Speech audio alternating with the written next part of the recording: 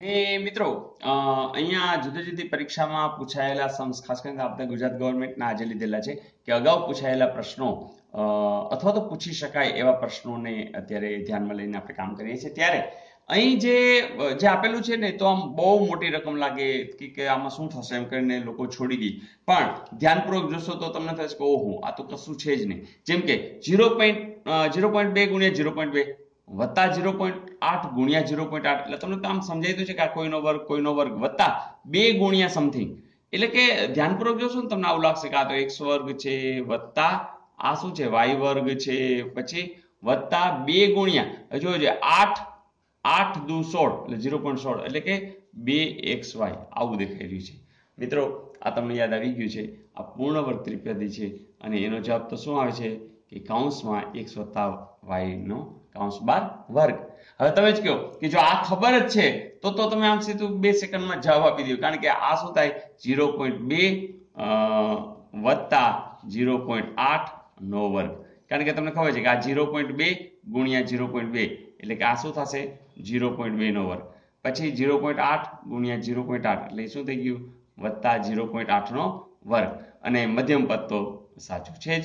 એટલે આખી વાત એવી થઈ ગઈ કે જો આવું હોય તો શું લખી શકાય? આની જેમ. એટલે કે તમે આમ લખી શકો. હવે જો ઝીરો પોઈન્ટ બે વત્તા ઝીરો પોઈન્ટ આઠ. એટલે કે તો શું થયું? એક પોઈન્ટ ઝીરો નો વર્ગ. બરાબર ને? ઝીરો પોઈન્ટ બે વત્તા ઝીરો પોઈન્ટ આઠ. આઠ ને બે દસ. આ એક.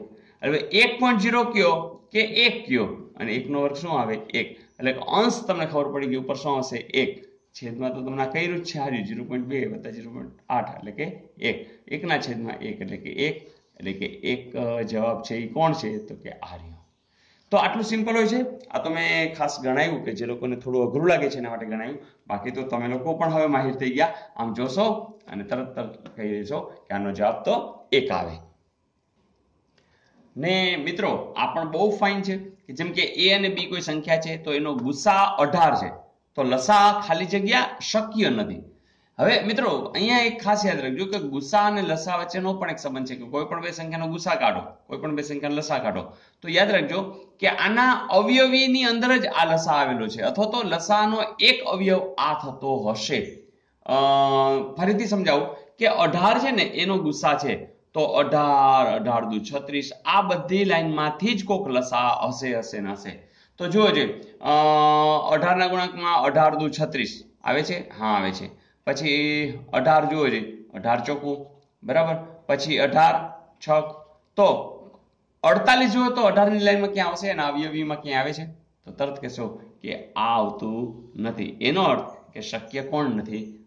અડતાલીસ છે એ શક્ય નથી. મિત્રો, ફરીથી સમજાવો. તમારે જો એક ઉદાહરણના રૂપે સમજવું હોય, તો આપણે ઉદાહરણ પણ લઈએ કે દાખલા તરીકે આઠ છે અને વીસ છે. ચાલો, એનો આપણે લસા આપણે શોધીએ. તો તમે તરત જ કરશો.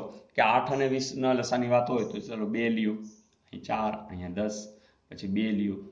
બે, આ પાંચ, બે લ્યું. એક, પાંચ અને પાંચ લ્યું. એક એક. બરાબર છે? તો જોવો જોઈએ બે, દુ, ચાર ચાર, દુ, આઠ આઠ પચાને ચાલીસ. તો લસા કેટલો આવ્યો? ચાલીસ. હવે ગુસ્સાની વાત કરો. ચાલો એ પણ જોઈ લઈએ. તો ગુસ્સામાં કોણ આવશે? તો કે આઠ અને વીસ. ચાલો બંનેમાં ચાલે એ આપણે લઈએ. તો બંનેમાં કોણ ચાલશે? તો પહેલાં તો કે બે ચાલશે. ચાલો હજી બે ચાલશે. હા, ચાલશે. ચાલો, હવે બંનેમાં ચાલે એવું? તો કોઈ રહ્યું નહીં. તો હવે શું જવાબ આવ્યો? બે દુને ચાર. તો આનો ગુસ્સા અ. કોણ આવ્યું? ચાર. હવે તમે જ કહો કે ચાર ચાર દુ આઠ, ચાર તેરી બાર, ચોકે ચોકે સોળ. એમાં જ ક્યાંક ચાલીસ આવી જતું હશે. આવી જાય છે. ધેટ્સ ગુડ અથવા તો ચાલીસના અવયવની અંદર ક્યાંક ચાર આવતું હશે. તો આ એક તમને ખબર હોવી જોઈએ. અને એના આધારિત આ પ્રશ્ન સરસ મજાનો પૂછાણો હતો. એટલે હવે તમને ખબર હશે, એટલે તો તમે એકદમ સ્પીડમાં તમે જવાબ આપી શકશો. ઓકે ને આ પણ એક બહુ ફાઇન સમ છે કે એક ચોરસ ખેતરની બાજુની લંબાઈ વીસ મીટર છે અને ખૂણા પર છ મીટર લાંબા દોરડાથી એક ગાય બાંધી છે. તો ગાય કેટલા ભાગમાં ચરી શકે? તો મિત્રો તમને કોઈ આવી રીતે ચોરસ આપેલ છે?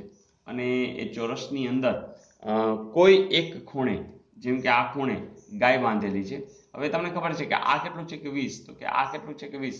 પણ જે ખૂણા ઉપર જે ગાય બાંધી છે, એ માત્ર છ, એટલે કે આટલા દોરડા સુધી જ એ ચારો ચલી શકશે. એટલે આખી પોઝિશન શું થઈ? કે ગાયનું આ દોરડું છે અહીંથી વધારે આગળ નહીં જઈ શકે. એટલે આટલું છ હશે, આટલું છ હશે. આમ જોઈએ ને, તો આ એક આખું વર્તુળ થઈ. બરાબર? તો અહીંયા સુધીની જ વાત છે. એટલે આ વર્તુળની અંદર આપણે આટલા ભાગની વાત કરી છે.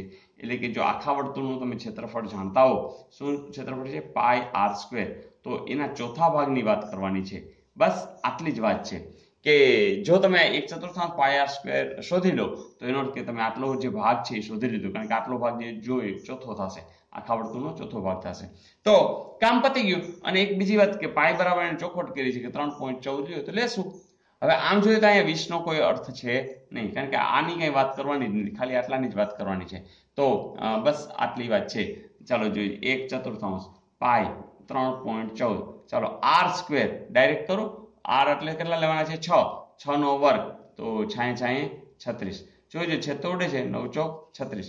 હવે તમે એક રીતે ત્રણ પોઈન્ટ ચૌદ ને નવ વડે ગુણો ખરા. અને બીજી વસ્તુ કે તમને આટલી બધી ચાર વસ્તુ આપી હોય, તો ડાયરેક્ટ કરો ને. ચાલો, નવ, તેરી, સત્યાવીસ.